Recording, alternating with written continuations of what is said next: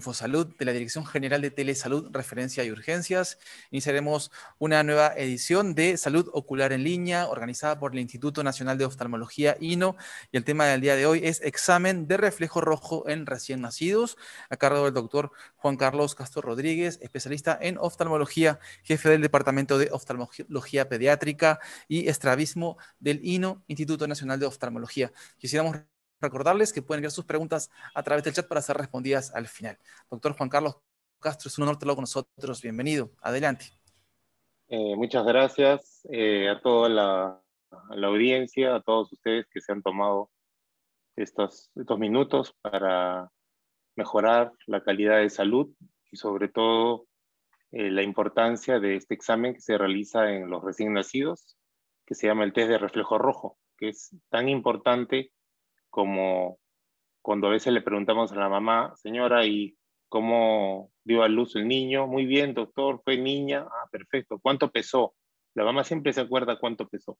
Pesó 3 kilos 200. Ah, ya. ¿Y cuánto midió? Doctor, más o menos 70 y tantos este, centímetros, tanto, tanto. ¿Y el test de reflejo rojo? ¿Qué es eso, doctor? Entonces, en otros países, las cartillas del, del crecimiento, del desarrollo del niño consignan, además del peso, la talla, la edad gestacional, perímetro cefálico, las vacunas, un ítem que se llama reflejo rojo. Y es de ley, ya está eh, reglamentado por el Ministerio de Salud de muchos países, como por ejemplo Brasil, Chile, Colombia, en donde se tiene que consignar que el médico le hizo el test de reflejo rojo. Y ahora le vamos a mencionar por qué. Eh, ¿Cuándo se debe realizar el test de reflejo rojo? Cuando el paciente recién nace. En las primeras 48 semanas, 48 horas de vida. Muchos niños están uno, dos o tres días y en ese momento el neonatólogo, o sea, el pediatra, con un aparato especial que le vamos a enseñar después, que se llama oftalmoscopio, tiene que ver que el brillo de sus dos ojitos, de sus pupilas, sean rojas. ¿Qué significa rojas? Significa que su retina está bien. Es como nuestros dedos, ¿verdad? Nuestras, la palma de nuestros dedos son rojas. Si estamos anémicos, son blancas. ¿Por qué es importante este test? Porque nos va a decir que la visión, que, los medios de transparencia están normales, que su córnea está normal, que su cristalino está normal, que su vitro está transparente y que la retina está en su sitio. Por eso es importante. Vamos a ir desarrollando poco a poco. ¿Qué enfermedades nos pueden diagnosticar si uno de los ojos no es rojo? Muchísimas, muchísimas como las que vamos a ver, principalmente la catarata y el temido retinoblastoma, que es un tumor muy, muy maligno que ocurre en niños, puede ser de un solo ojo o los dos ojos.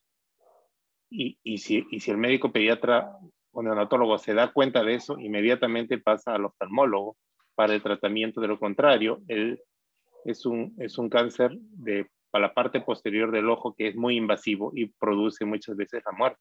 Se llama retinoblastoma. ¿Quiénes deben o pueden realizarlo? Como ya le mencioné, los pediatras, los oftalmólogos pediatras están ahí, los neonatólogos. Y en muchas partes de, de, de Asia o África también técnicos. Hay técnicos que se les capacita para que vean el reflejo rojo. No es nada del otro mundo, es como cuando ustedes alguna vez están por la carretera con las luces y alumbran un animalito, un gato, un perro, y le ven los dos ojos brillantes. Eso es el test de reflejo. Y eso es lo que nosotros queremos ver con los niños. ¿Cómo puedo yo darme cuenta? Generalmente las mamás son las que se dan cuenta y dicen, doctor, le noto que la niña de su ojo es de color blanco o tiene otro color. O cuando alguna vez le hemos tomado una foto ha salido de otro color. Ojo, eso es muy peligroso. ¿A qué debe ser su primera media de vista? Que quería complementarlo con esto. Ya lo vamos a mencionar antes de los dos años. Quise poner esta figura porque es muy importante que, que todos ustedes tengan en cuenta que la medida de vista no es cuando entra al colegio, no es cuando entra a transición, es antes de los dos o tres años. Porque a los tres años el ojo ya creció el 80% del tamaño de un ojo adulto. Es como si ustedes a los tres años ya han sus, pies ya tienen el 80% del tamaño antes de, para, para, para la adultez, ¿no? Entonces es muy importante porque el crecimiento del ojo es muy rápido, igual que el del cerebro. Es importante la media de vista, ¿por qué? Porque nos va a decir si los dos ojos están trabajando. Primero no va a diagnosticar, porque esto se hace a través de reflejo rojo. Si no hay reflejo rojo, no hay medida de vista. Si hay un buen reflejo rojo, se puede medir la vista y nos puede ayudar a prevenir si el niño desvía o no la vista, si el niño tiene o no alguna opacidad, como por ejemplo una catarata, o si el niño tiene algún grado de ojo perezoso, porque encontramos que un ojo mira bien, pero el otro ojo necesita un lente muy grueso para poder ver bien. Y eso se llama ambliopía o el ojo vago. Siempre es importante, doctor, mi hijito tiene siete meses. ¿Qué, ¿Cómo es que debe ver un niño? Debe haber una buena reacción pupilar a los siete meses de gestación. Debe haber un buen contacto visual a las seis semanas, más o menos a los, a los dos meses, digamos, ¿no? o mes y medio, ya el niño debe tener un cierto contacto visual, más que el papá le llame al, al, bebé y el bebé se guíe por el oído, ya debe haber un cierto contacto visual. Recién a las ocho semanas, recién a los dos meses, el niño va a poder fijar en forma más detenida al papá. Inicialmente lo mira y luego se va para un lado, pero luego debe, tener una, una mirada más fija. Si en ese momento ustedes ven que un ojo podría estar desviado hacia adentro o hacia un lado, es momento que haga una interconsulta. Muchas veces va a ser un falso estrabismo, pero otras veces es un estrabismo. Y el niño ya va a poder seguir la vista en forma coordinada a, los, a las 10 semanas, ¿no? Doctor, mi hijo no ve. Muchas veces viene la mamá. Doctor, mi niño no ve, no me sigue, no me, no, no, yo, yo noto que yo estoy hablando y el niño está en otro lado. ¿Qué tengo que hacer? Existen las cartillas de 0 a 2 meses, de 2 a 6 meses, de 7 a 11 meses, etcétera, etcétera, donde nos van dando el parámetro. Por ejemplo, de 0, de 0 a 2 meses debe haber un parpadeo, se debe establecer el contacto visual de la madre y el niño. El niño puede prestar atención cuando la mamá hace algún gesto y el niño va a parpadear si le ponemos una luz muy fuerte. Y de dos a seis meses, no lo voy a leer todo, el niño va a reconocer objetos en la cara o objetos, los anteojos de la mamá o alguna cosa que esté cerca. Va a poder explorar su medio ambiente siempre hasta una distancia limitada. No se olviden que los niños no nacen viendo bien, aprenden a ver bien va a poder comenzar a jugar y mirar sus manos, que es lo primero que reconoce y se lo lleva a la boca. Y va a tener eh, que puede mejorar su campo visual, ¿no? Y así tenemos hasta los 4 a 5 años. Esto queda grabado, ustedes pueden luego verlo a través de, YouTube y ya queda grabado esta, esta tabla de desarrollo visual normal del paciente. No se olviden que cuando un niño va a nacer, todos intervienen en el éxito del, del nacimiento, ¿no?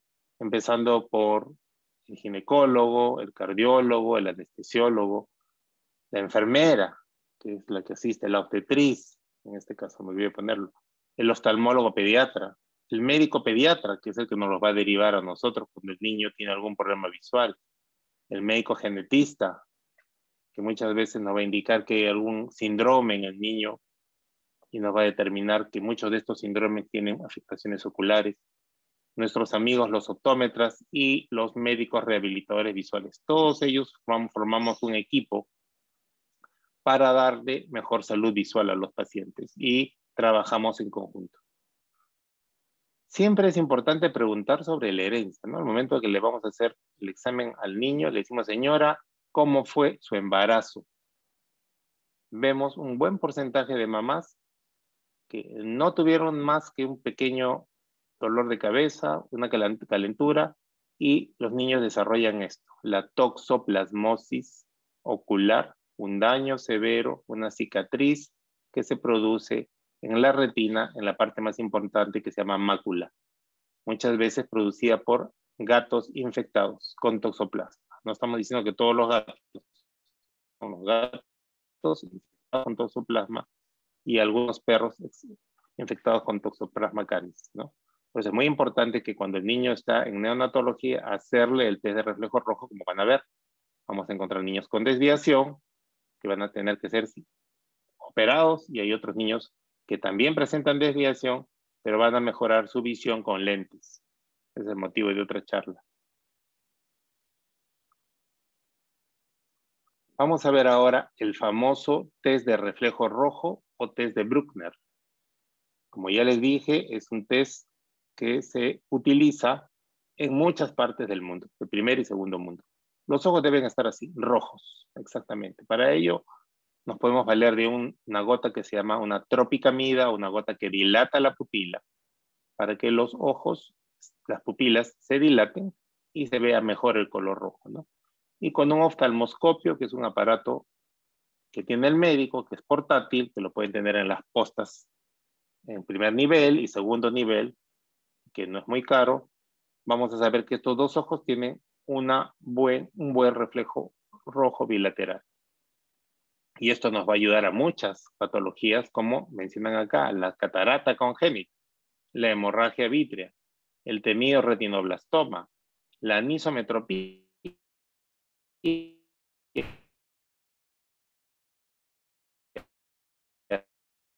que es un ojo más, grande que otro, pero el otro ¿no? Acá tenemos, por ejemplo, un buen reflejo rojo bilateral, acá un buen reflejo rojo en un solo ojo, aquí hay una catarata, y en esta figura que es tomada de un libro, un buen reflejo rojo, pero fíjense, este reflejo es blanco. Y estos reflejos blancos más profundos son muy compatibles con el temido retinoblastoma, que eh, tiene alta mortalidad si es que se demora, nos demoramos en el diagnóstico, o los padres se demoran en traerlos, o los médicos se demoran en hacer ese examen rojo, que no luchemos para que este año este test de reflejo rojo sea incorporado en el MINSA, en las cartillas, las cartillas que tienen todas las mamás, donde se consignan los datos más importantes del nacimiento. Este es el oftalmoscopio, donde una luz emisor va a atravesar la córnea, el cristalino, el vitrio y nos va a permitir ver la retina y el nervio ¿no? No demora más que dos minutos este examen y se hacen los dos ojos. Nuevamente necesitamos esta parte de aquí que se llama córnea, la parte más importante. El humor acuoso, que tiene que ser transparente el cristalino. Sí, doctor, hay catarata en niños. Hay muchas cataratas en niños. En el INO operamos unas 260 cataratas al año, producidas por múltiples causas, metabólicas, por virus, heredita, heredo, heredofamiliares, por infecciones, etc. Esta parte es el vitrio, que es como una gelatina que le da consistencia al ojo. Esta es la mácula, que es la parte más importante de visión y todo esto es la retina, y aquí está el nervio óptico, es por donde se transmite la visión. Yo le pregunto, señora, ¿su niño con qué ve? ¿Con el ojo o con el cerebro? Y las mamás dicen, doctor, mi niño ve con el ojo. Bueno, su niño transmite la visión con el ojo, pero en realidad ve con el cerebro, con la región occipital. Nuestro ojo no es nada más que una cámara de foto o video perfecta que va a tener algunos problemas, sí, no la sabemos cuidar, pero nosotros vemos con el cerebro. Por eso necesitamos que las imágenes que se formen en los primeros años sean nítidas. Si una imagen no es nítida, el cerebro automáticamente anula ese ojo y lo vuelve perezoso, como por ejemplo nacer con un ojo más corto de vista. En este capítulo de leucocorias en niños hay más de 20 enfermedades que se pueden diagnosticar solamente habiéndole dilatado al niño. Una de las más importantes, la retinopatía del prematuro. Los niños prematuros menores de 1500 kilos con baja edad gestacional que están mucho tiempo en, en las incubadoras y que tienen sepsis y transfusión y tienen un montón de tienen infecciones, esos niños tenemos que controlar su retina. ¿Por qué? Porque así como el niño nació prematuro, también es inmadura su retina, aparte de su sistema respiratorio. Esa retina inmadura puede producir, si es que no es tratada, desprendimiento de retina y ceguera. Y muchas otras enfermedades también acá. Acá tenemos ejemplos de pacientes que nos llegan al instituto. Por ejemplo, los dos primeros, un niño y una niña con catarata. Señora, ¿desde cuándo está? Uy, doctor, desde seis meses, siete meses, pero yo pensé que era normal, nadie me dijo nada. Fíjense como ya los ojos están desviando. O sea que este niño ya tiene que ser operado de dos cosas. De la catarata y después del estrabismo. Hay otros niños que tienen la córnea opaca o un ojo más grande que el otro. Y ese es el glaucoma, que también nos daría un mal reflejo rojo, porque estamos viendo que la córnea está opaca. No va a pasar bien el, el examen que nosotros vamos a hacer, no va a ser muy bueno. Entonces va a salir más rojito en un ojo y en el otro va a salir tenue, como si tuviéramos dos focos de un carro, uno con buena mica y el otro con una mica opaca. Y acá podemos ver el nervio óptico que se hace con este examen que se llama fondo de ojo indirecto. Más ejemplos también de libros. Acá tenemos el retinoblastoma. Esta mancha así como si fuera de queso, de color amarillento, que recién están en estadios iniciales, puede salvar el ojo del niño o la vida. Muchas veces se puede perder el ojo, pero se salva la vida.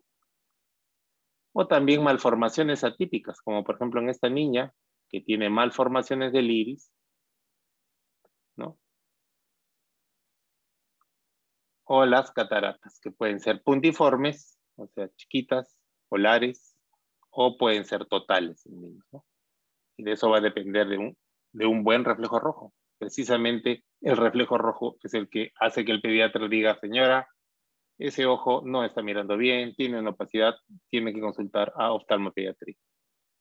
No se olvide que la primera consulta es muy importante. Lo más importante para nosotros los oftalmólogos pediatras es en esos pequeños minutos que tenemos al niño atento, poder hacerle los exámenes. Después preguntaremos sobre la patología o escribiremos, porque el niño se aburre muy rápido. Tenemos que ganarnos la confianza del niño. Nuevamente, este es un retinoscopio a pilas, o recargable, donde el doctor está haciendo mirar a la niña y se está dando cuenta que el niño tiene reflejo rojo, que es la primera parte del examen. También existen eh, muchos apps, como el MD Eye Care, que son apps que se lo pueden bajar. Hay para iOS, no sé si hay para Android, en donde estos apps inmediatamente emiten un flash automáticamente junto con un sonido de un ladrido. Entonces, nosotros bajamos este app y podemos tomarle fotos. En este caso tenemos el reflejo rojo, rojo en estos dos casos.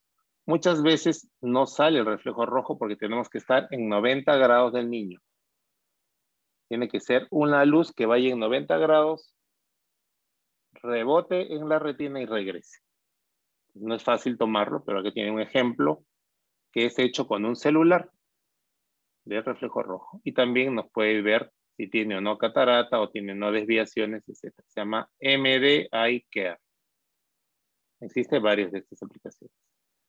Entonces, la valoración del niño es muy amplia, ¿no? Sobre, empezando por la historia, como ya dije, la edad del niño, cómo es su desarrollo psicomotriz, si sigue objetos, y si no sigue objetos, si mamá, papá o tíos tienen algún defecto en el ojo, si usan lentes gruesos, si la mamá es miope alta, si tiene tíos con catarata, tiene tíos con glaucoma, tiene, tiene eh, algún familiar que han tenido estrabismos, o los padres del, niño tienen estrabismo, si al niño le duele la cabeza, si se frota los ojos, si achina los ojos, si ve de costado, si tiene un ojo desviado, si le lagrimean los ojos, etc. El examen oftalmológico tiene que ser completo. Es decir, agudeza visual por separado, como ve el derecho, como ve el izquierdo, sin lentes y luego con lentes. Y cómo está el fondo de ojo. En el fondo de ojo vemos el reflejo rojo y luego que vemos el reflejo rojo, con una lupa especial ya vemos cómo está el nervio, que es el conductor de la imagen, cómo está la mácula, cómo está la retina, etc. Y si el niño sigue objetos o si el niño se muestra indiferente. Por eso es que nosotros recomendamos a nuestros médicos residentes que rotan en el INO y muchos médicos pediatras que hacen sus rotaciones de uno o dos meses de, oftalmología en el INO, que el examen debe ser amigable, nunca se toca al paciente, siempre la mamá tiene que estar acompañando al paciente. El paciente no es un adulto chico, es un niño. Le hacemos estos exámenes de cover que es para descartar estrabismo, los exámenes de fijación, y en este caso aquí hay el residente que le está haciendo el examen de reflejo rojo.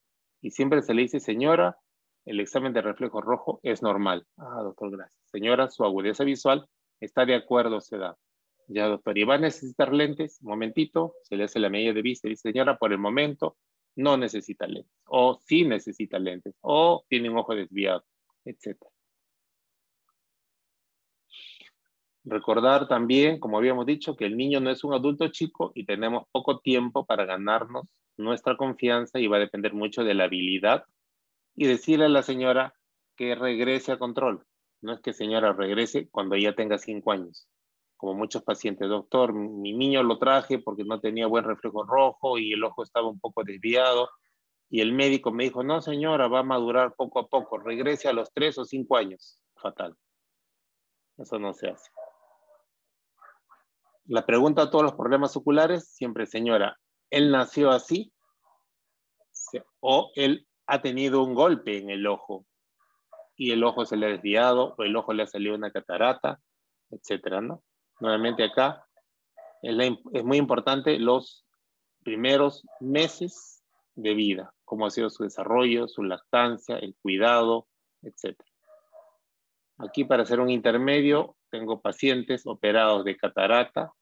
Acá la primera paciente es una señora que tuvo catarata en los dos ojos no le encontraron reflejo rojo, por supuesto el reflejo era blanco.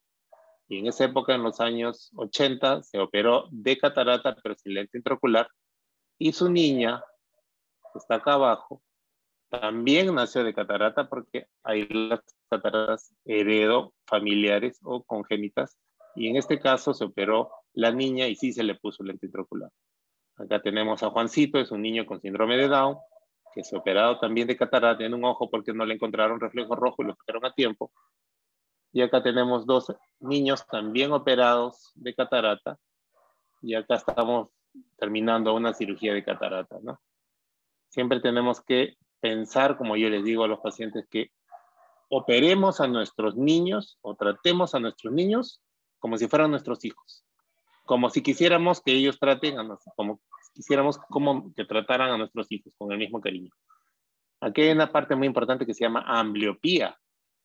¿Qué es la ambliopía? La ambliopía es un problema que produce mucha ceguera.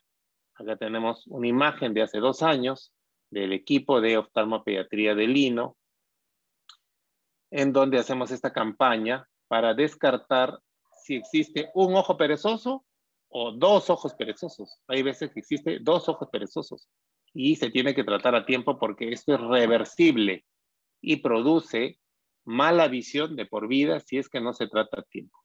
Y el tratamiento es un parche. ¿Por qué es importante el reflejo rojo? Para ver si los dos ojos están trabajando bien. ¿Y por qué es importante que los dos ojos trabajen bien? Para esto, la binocularidad. ¿Qué significa la binocularidad? Poder ver en 3D llevo a mi hijo al cine, le ponen los lentes de 3D y mi hijo se marea, se cansa, no ve nada. Y dice, mamá, ¿qué tengo que ver? Hijo, ¿no estás viendo que está saliendo de la pantalla como si fueran unas piedras que vienen hacia nosotros? Y el niño dice, no, mamá, yo, yo veo que es como un, como un televisor. Cuando no hay 3D, cuando los ojos no trabajan en forma conjunta, no hay ese efecto de profundidad. Entonces, este niño nunca va a poder tener 3D y va a alterar su visión y va a alterar sus funciones visuales también. Finalmente, como habíamos dicho, el examen oftalmológico, ya dijimos, los primeros 30 días, lo ideal es apenas recién nazca, el reflejo rojo. También el médico medirá el diámetro de la córnea con una regla. La córnea, lo negrito del ojo debe medir más o menos 10.5 milímetros. De uno a tres meses, con una lucecita le alumbramos a los ojos y el brillo tiene que caer en el centro de las pupilas para descartar algún tipo de estrés. Y posteriormente a los tres años, hacerle los exámenes de agudeza visual. Más o menos aquí tienen el desarrollo de la agudeza visual, el recién nacido ve muy poco, como 20-800, y recién entre los 5 y 7 años ven 20-20, que es una visión buena. El ojo va desarrollando, el ojo va creciendo. Por eso que la mamá dice, doctor, ¿por qué le va a cambiar el lente si el lente está nuevo? Señora, porque el ojo creció. Pero ¿cómo que creció si yo lo veo del mismo tamaño? Señora, creció hacia afuera, hacia adentro. Así como crecieron los pies y necesitan nuevo calzado, los ojos crecen seis primeros años tienen que ir al oftalmólogo dos a tres veces al año, sobre todo si están usando lentes, sobre todo si tienen ojo perezoso, sobre todo si tienen un ojo desviado o les han encontrado alguna enfermedad o alguna patología. Y como les había mencionado, ¿no? Al mes el niño debe fijar el rostro de la madre y hacer un seguimiento con la mirada. Eso es muy importante.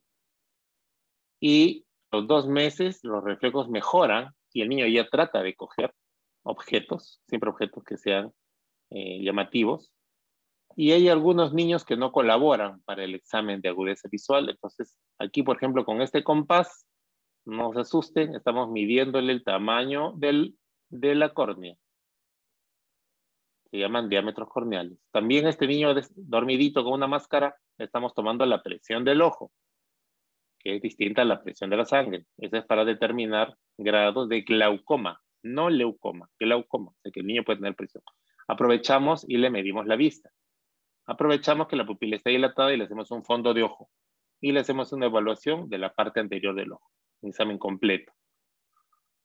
Esto ya lo hemos mencionado sobre la importancia de la agudeza visual. Existen distintos test según la edad del niño, donde el niño nos va a poder ir diciendo qué es lo que ve, siempre a 3 metros o 6 metros, ojo por ojo. Y también estos test donde la niña nos dicen para dónde está esta, esta, esta letra y la niña, en este caso, tiene que ser un ojo por ojo. Nos dice para qué sentido está, si es arriba, abajo, derecha o izquierda. La refracción es sumamente importante, ya les hemos mencionado. Se tiene que explorar los medios transparentes, las pupilas, el fondo de ojo, ¿no? Una mala agudeza visual nos va a, comprometer a que haya una mala convergencia, ¿no? El niño no pueda funcionar, no pueda leer bien, etc. Los niños se les toma la medida de vista con estas, estas, estas lunas. Siempre el niño se mide la vista con las pupilas dilatadas. Si el niño no se le echa gotas para medir la vista, es falso. Es una medida de vista totalmente mal hecha, ¿no? Siempre hay que dilatar la pupila. Por eso le decimos a la mamá, señora, no se mide la vista en ópticas, en niños, sobre todo porque hay que hacerles una buena cicloplegia con gotas y medirle bien. ¿Para qué es esto? Para que no exista acomodación del cristalino. ¿Y, por qué le echa gotas, doctor?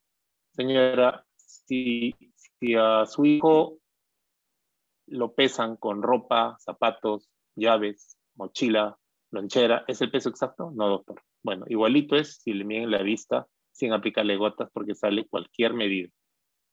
Ejemplos de pacientes que tienen sus parches oculares y están haciendo trabajar sus ojos flojos. Y solamente para terminar, que para redondear el caso, que muchos de nuestros pacientes están así, ya no tienen sonajas, ya están usando desde pequeñitos lentes porque los niños se están miopizando. La miopía es hereditaria. Peor si los dos papás son miopes, el 70% va a ser miopes. Y estamos viendo ya niños, nosotros antes veíamos miopes de 12, 13 años, ahora vemos miopes de 5 a 6 años. Es muy importante informar que la miopía avanza, avanza en forma acelerada. ¿Por qué? Primero, porque no tiene un buen lente. Segundo, porque mira mucho tiempo de cerca. Tercero, porque se la para el 80% del tiempo, está en, su trabajo remoto por la computadora, por el colegio, de ahí pasa al celular, de ahí almuerza, regresa, no puede salir porque está confinado, vuelve a hacer a los juegos en la pantalla, nuevamente vuelve al computador, de ahí pasa al televisor y en la noche continúa con el celular. Eso miopiza. Entonces, esto es un problema que ya lo venimos viviendo hace tiempo, que ha aumentado esto, la incidencia de ojo seco en niños, miopía en niños, baja autoestima en niños, falta de hablar, falta de diálogo, falta de comunicación. Solamente nos responden monosílabos. No sabemos qué están viendo nuestros hijos. Estamos cerca de nuestros hijos, pero a la vez estamos lejos de ellos. Acá tenemos un niño que va a ser preparado para un examen y una operación. Y por supuesto el niño le está echando gotas al osito antes que yo le eche gotas al niño para hacerle el examen. Y finalmente, acá tenemos una niña, mira, pequeña, de cuatro años o cinco años, que tiene ya miopía de seis. Y la mamá me dice, doctor, ¿hasta cuánto llegará? Señora, este paso puede llegar hasta 20, de repente ya no hay ni lunas. ¿Y qué hago, doctor? Cuidarla.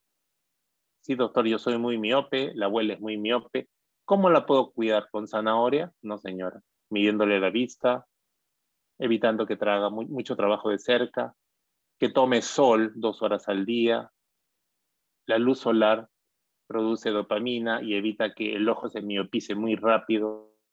Y si la miopía va avanzando, se le puede aplicar algunas gotas especiales que ya están aprobadas por la FDA, que haga trabajos de lejos, que haga deportes, etc. Y que trabaje con buena luz. Lo peor es ver el televisor o el celular con la luz apagada. Y distintos niños que tenemos acá, finalmente el test de reflejo, el primer test que, que tiene que tener todo niño es el test de reflejo rojo de Bruckner. Es fácil y nos ayuda para el tratamiento oportuno de muchas enfermedades. Ya lo dije, tratemos al niño con paciencia y amor para ganarnos la confianza de él, no desperdiciar la oportunidad de cuando tengamos un niño en, en la consulta de medirle la pista, aunque la mamá venga porque al niño le pican los ojos o tiene legaña, se le mide la vista porque puede haber muchas sorpresas en esos ojos que constantemente se frotan los niños y es que miran mal. Y es muy importante la agudeza visual adecuada de acuerdo a la edad y decirle a la señora que las consultas son periódicas, no son una vez cada tres años. Eso es todo. Muy amable. Muchísimas gracias. Felicitaciones doctor Juan Carlos Castro Rodríguez, especialista en oftalmología del Departamento de Oftalmología Pediátrica y Estrabismo del Lino. Doctor, nos han preguntado eh, cuáles son los eh, insumos, instrumentos que necesitamos para realizar el reflejo rojo en el recién nacido. Eh, como lo dije, lo puede hacer desde los centros de salud básicos, cuando yo hacía el serum, ya en el año 89. Se necesita nada más que una gota de tropicamida, que la proporciona el Ministerio de Salud, o la venden en las farmacias, no es muy cara y dura para muchos pacientes, siempre teniendo el cuidado de, que no, la gota no toque el ojo del paciente. Y un aparato que se llama oftalmoscopio directo, que funciona con dos pilas o también tiene mango recargable, que tendrá un precio más o menos de 150 dólares, o un poco menos o un poco más, dependiendo de la marca. Y con eso nosotros le estamos asegurando al paciente, al niño, que no solamente tuvo un buen peso, que tuvo un buen Apgar, que lloró, que, no tuvo infección, sino que también está teniendo un buen reflejo rojo visual y le estamos diciendo que por el momento no tiene la enfermedad como una catarata o todavía no, no tiene ninguna otra patología de la cual la mamá tenga que preocuparse. Gracias, doctor. En el caso de encontrar alguna anomalía, eh, ¿en qué momento debemos eh, de referir al oftalmólogo?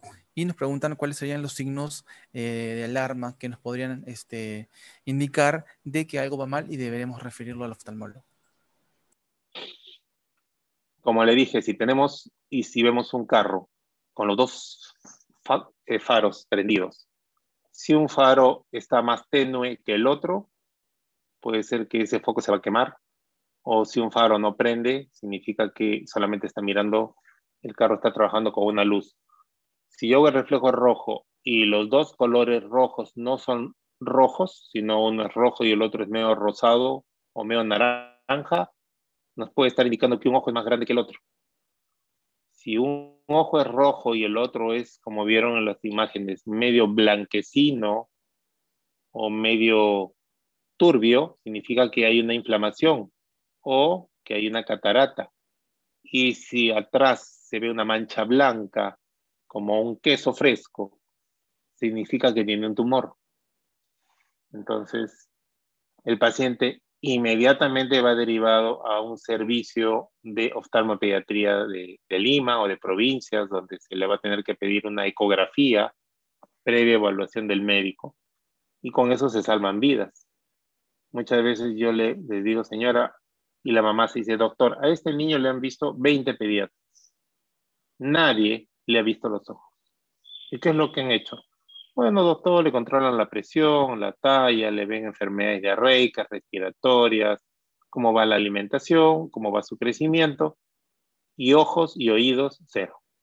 Entonces, mientras que en otros países vecinos, para entrar al nido, no solamente le piden la cartillita esta de control de crecimiento, sino le piden un examen oftalmológico hecho por oftalmólogo, no en óptica. Un examen de audiometría hecho por un otorrino y un examen de descarte de pie plano hecho por un traumatólogo. Entonces, con eso vamos, que el niño va con más seguridad, mejor dotado a, a, tratar de aprender. Tenemos niños en el Perú que encima que leen y no entienden lo que leen, el 6.5% a un 8% de los escolares necesitan lentes. Y ahora peor con el confinamiento, porque en las teleorientaciones que hacemos nosotros, los pacientes me dicen, doctor, ¿qué hago? Mi niño ya está un año con lentes y ya no ve, señora, ya desgraciadamente el ojo ya creció. Es como si el zapato va a pretender que le dure tres años, no le dura. ¿Y dónde hago y cómo hago? Entonces, es un confinamiento duro, no solamente para la parte oftalmológica, sino para todas partes, todas las especialidades. Es un, son unos años muy fuertes, quizás los años más fuertes de la historia del mundo. Doctor, me están preguntando eh, en qué momento puede ser una emergencia. Cuando es un retinoblastoma. Cuando es un retinoblastoma, porque hemos visto muchas veces niños de dos meses, un mes, me ha tocado ver, y le digo, señora, ese es un retinoblastoma. Ay, doctor, ¿qué es eso? Es un tumor. Doctor, le hacemos la ecografía, por supuesto, siempre documentados. Y efectivamente, la mayoría de retinoblastomas tienen calcificaciones y en la ecografía sale un retinoblastoma. Y el médico, y le digo, señora, ¿cuál es el tratamiento?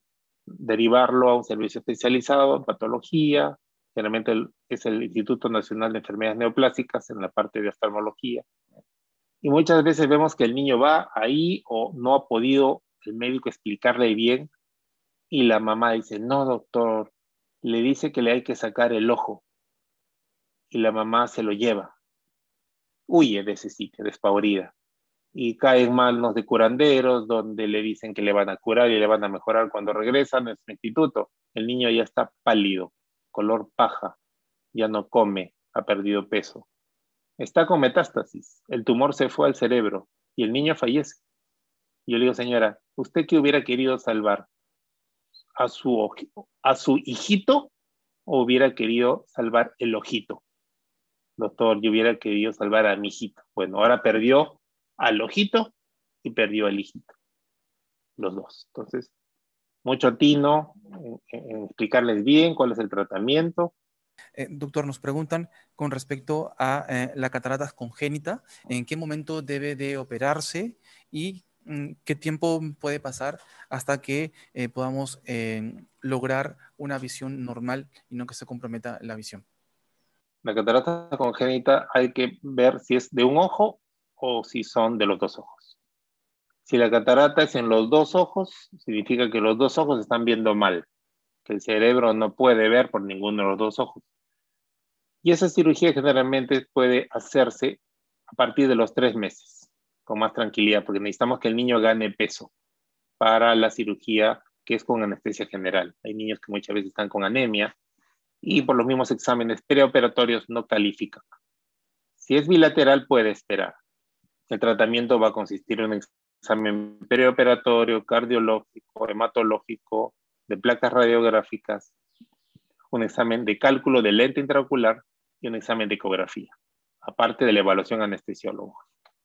Entonces el niño se operará un ojo y el siguiente ojo se puede operar al mes o en tres semanas. Porque si se opera un ojo y el siguiente ojo se opera en un año, este ojo se queda perezoso. Los dos ojos tienen que operarse juntos y pronto. Y luego de eso el niño usará lentes de por vida, porque cuando se le colocan lentes intraoculares es para mejorar la visión de lejos, pero el niño necesita mirar de cerca. El niño tiene un mundo de cerca, entonces, siguientes medidas va a usar lentes bifocales para poder mirar de cerca y luego usará lentes multifocales para que pueda escribir y mirar de lejos al mismo tiempo por un solo lente.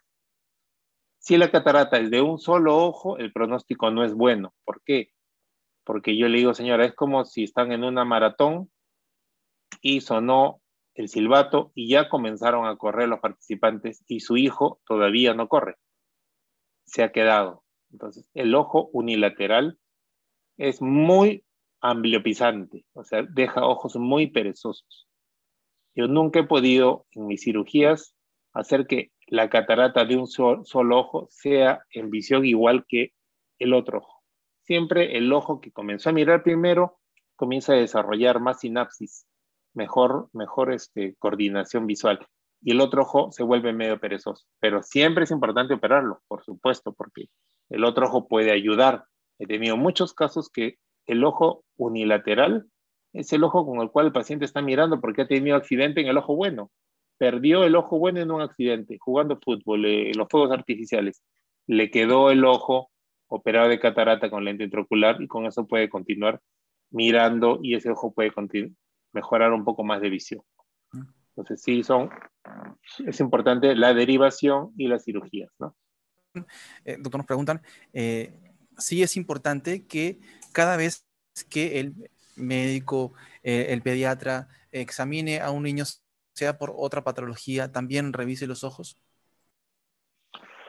Generalmente los pediatras, eh, ahora tenemos convenios con casi todas las universidades y todos los alumnos de, de últimos años que están haciendo y a veces su externado van a rotar por ojos, pero sí, todos los pediatras rotan por ojos no solamente en el INO, sino rotan por ojos en el Hospital del Niño, rotan por ojos en el Seguro Social, en la parte o en el departamento de oftalmopediatría. Es sumamente importante porque no se olviden que de los cinco sentidos que tenemos, la visión da el 83.5 de conocimientos.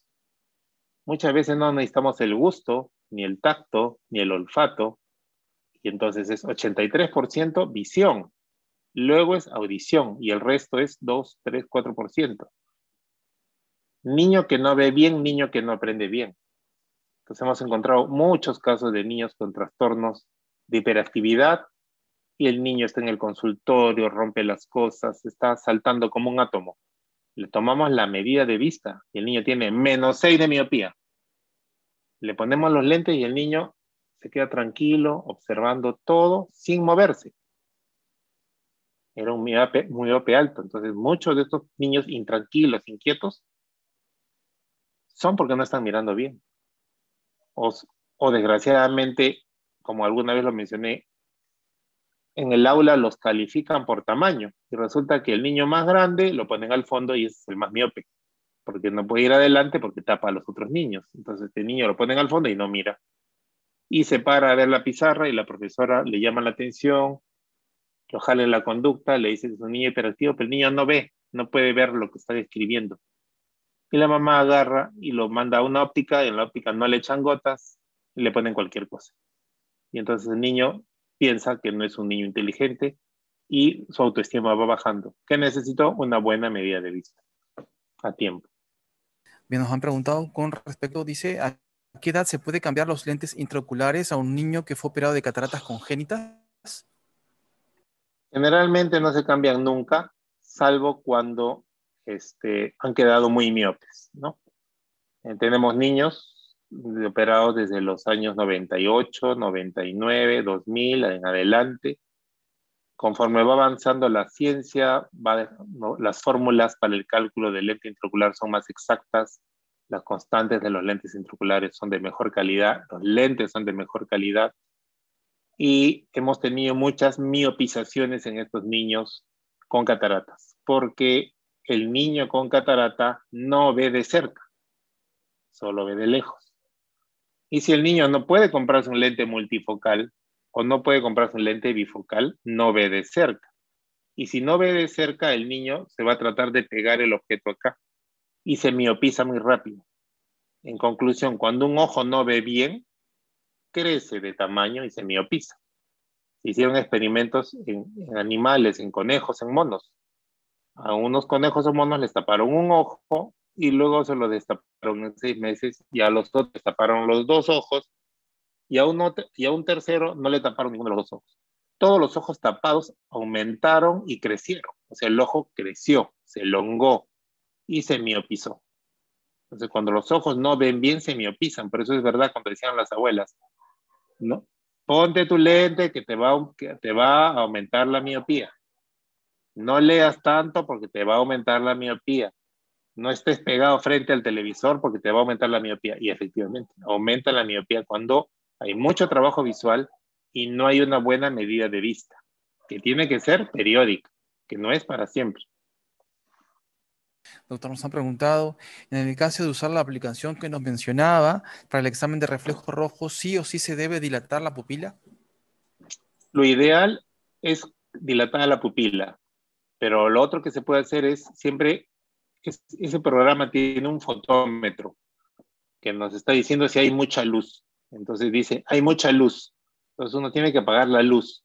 Cuando se apaga la luz, sale un mensaje que dice, toma ideal. En ese momento hay que hacer varias tomas, varias tomas, siempre de frente, ¿no? Mi nariz con la nariz del niño. Y ahí uno se puede dar cuenta cómo va a salir el reflejo rojo o si el ojo está del mismo tamaño o si la córnea está más chiquita. Son aplicaciones, por supuesto, que no son mandatorias, pero por lo menos la mamá puede ir con, los, con las, las fotos, ¿no? Mire, doctor, aquí está la foto. Esto, es lo que le he encontrado. Doctor, mire, así está su ojo. Siempre es muy importante usar el celular. El celular tiene muchos fines médicos, muchísimos fines médicos. Existen muchas aplicaciones actualmente en los celulares. Celulares que ya toman pulso, celulares que ya toman electrocardiograma o toda esa tecnología que se viene ahorita a través de los, de los, de los, de los celulares, ¿no? En otros países el, en el celular se llena una ficha técnica, médica, donde pongo el nombre, mi edad, mi dirección, mi grupo sanguíneo, mi patología, los medicamentos que yo tomo y los teléfonos de las personas más importantes y el teléfono de mi médico. Tengo un sistema donde yo aprieto una alerta y en ese momento se llama simultáneamente a mi médico o a las personas donde encuentran mi ubicación y rápidamente me pueden llevar a una clínica y ahí está mi ficha médica en mi celular diciendo si soy alérgico a la penicilina o no.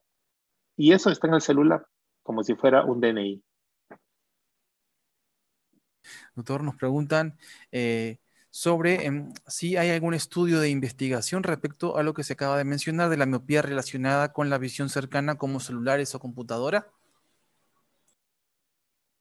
Sí, ya está demostrado científicamente que la mitad del mundo se está miopizando, que los países asiáticos llevan el 90% ya de jóvenes miopes por su estilo de vida, por el nivel intelectual. Se demostró que el nivel intelectual, ah, eh, digamos, está en relación a la miopía.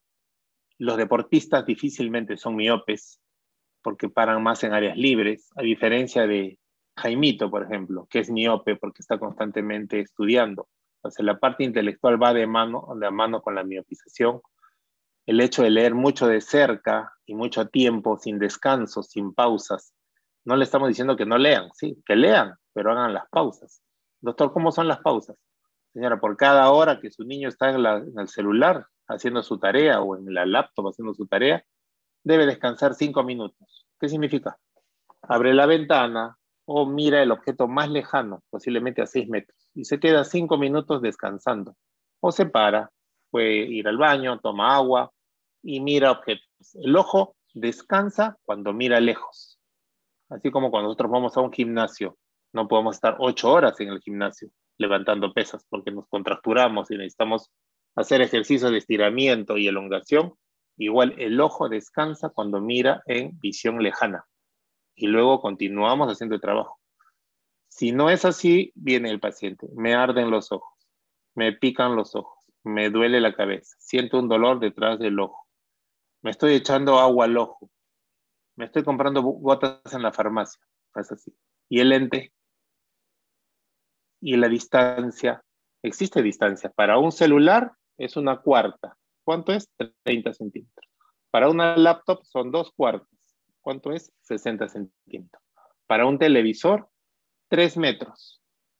Yo veo veces que, tienen televisores tan grandes en espacios tan reducidos. La vista se agota. Existen reglas para el cual yo digo, si quiero comprarme un televisor de 60 pulgadas, tengo que tener 5 metros o 6 metros atrás para poder ver ese televisor. No solamente eso, sino los brillos. El brillo en fondo negro, por ejemplo.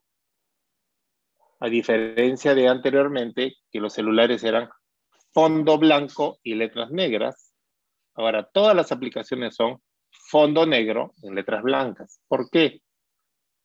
Porque la luz blanca produce más irritación porque la luz blanca produce más deslumbramiento.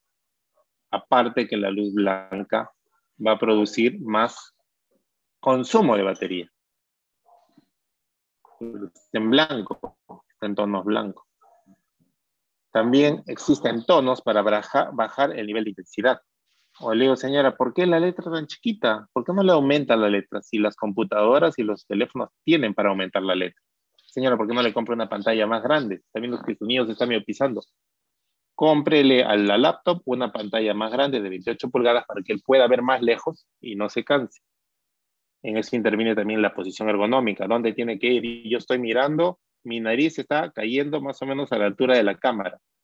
No la tengo ni muy arriba, que tengo que levantar el cuello, ni muy abajo, que tengo que estar así, produciéndome problemas de dolor cervical, o problemas en el túnel del carpo porque tengo que levantar mucho de esto, no tengo un, un buen respaldar para la posición dorsal, etcétera, ¿no? Entonces, existe todo lo que todo lo que se viene ahorita es eso, es full pantallas electrónicas, los problemas que esto produce, pero cómo podemos nosotros contrarrestar esto, la parte visual, la parte ergonómica, la parte de posición, el tomar líquido, el pararse, el estar haciendo constantemente higiene y cómo limpiar los lentes, porque yo veo que los pacientes hacen así, botan vapor y lo frotan con el polo.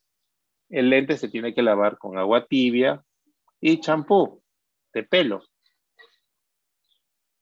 o con jabón líquido, pero los lentes nunca se pueden limpiar en seco. Doctores que a mí me han dado unos pañitos, señora, ¿y cuántas veces lava el pañito? Es que me venden unos líquidos, señora. Eso es agua con champú y un poquito de alcohol isopropílico. Lave con agua tibia y champú. Los lentes tienen que estar limpios. Los niños a veces están con los lentes totalmente arañados porque no lo saben guardar. Los colocan así en esta posición en la mesa. Entonces, hay que estar viendo si el lente está limpio o está opaco o está rayado. Excelente, doctor. Muchísimas gracias. Felicitaciones, doctor Juan Carlos Castro Rodríguez. Están felicitando también en el chat. Están muy agradecidos por esta explicación tan interesante del examen de reflejo rojo en recién nacidos y toda la información sobre oftalmología que nos ha brindado el día de hoy. Doctor, ¿algunas recomendaciones finales sobre esta importante eh, ponencia? No, solamente para los del compañeros y amigos del Ministerio de Salud, a través de ustedes, que puedan transmitir la importancia del reflejo rojo, que ya en otros países está establecida como una norma. Muchísimas gracias. Felicitaciones una vez más. Doctor Juan Carlos Castro Rodríguez, especialista en oftalmología, jefe del Departamento de Oftalmología Pediátrica y Estrabismo del Instituto Nacional de Oftalmología del Ministerio de Salud. Doctor, muchísimas gracias. Felicitaciones. Muy agradecidos todos con usted. Lo esperamos en próximas telecapacitaciones. Un gran saludo para usted y todo su equipo del Instituto Nacional de Oftalmología. Hasta la próxima. Muchas gracias. Un gran saludo. Muchas gracias. Hasta luego.